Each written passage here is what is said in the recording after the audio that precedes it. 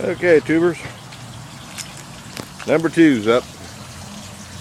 Gonna wash the lava rock, put it in there tomorrow. Scratched it up. Darn paint didn't let dry enough. But just showing you what I got here.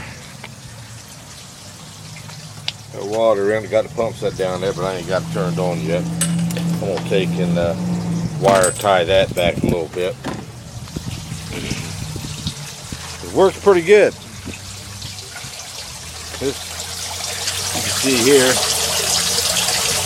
It's down in here.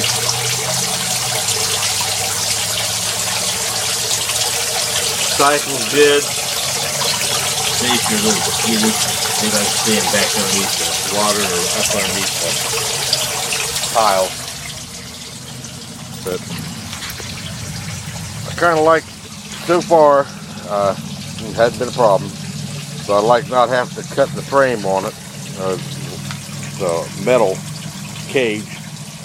It seems to work just as well as doing it the other way, as long as you don't mind not having this turned around so you got full access all the way across it. I really don't need that, because I can get in here with a with a dip net and I can get the fish out that way if I have to. But I haven't seen anybody doing them like this yet. Maybe, but I just haven't seen any. Also today I cut a couple uh, aluminum panels and slid down in behind there. Kind of keeps uh, little grandkids from looking underneath there and maybe messing with my valves.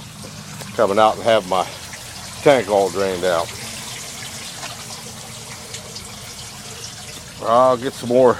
We're supposed to have some more 30 degree weather next three or four days. And I've been kind of holding off a little bit about putting more plants in here. The lettuce doesn't mind it. Peppers, they got they got touched a little bit there with a little frost there today, even though I had them covered up.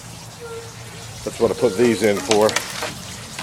Just slid them down in behind. Uh, if you have a piece of canvas, I put over top of it. The tubers, that's my uh, do on the uh, IBC aquaponics system. Just cut plastic, that's it. Well, I'll let you know how it goes later on, but right now it's still going good, so I'll catch y'all later.